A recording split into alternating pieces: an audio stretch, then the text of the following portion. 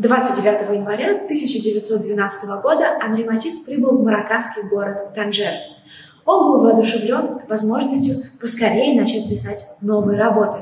Тем более, что русский коллекционер Иван Морозов заказал ему триптих на восточную тематику. Когда Матис приехал в Марокко, он оказался заперт в гостинице. Погода долгое время не позволяла ему гулять и делать этюды на открытом воздухе. Он писал своей дочери. «Здесь мы попали под дождь. Это какой-то потоп. Кажется, это длится целый месяц». Когда же погода прояснилась, Матис начал создавать первые пейзажи. Из окна его гостиничного номера открывался эффектный вид на старый город, который и стал темой первой работы для Морозова. Вид из окна. Танжер. Две другие картины были написаны уже во второй приезд Матисса в Марокко. Это работы «Зора на террасе» и «Вход в Казбу». Эти картины составили триптих, посвященный синему цвету и его метаморфозам в разное время суток – утром, днем и вечером.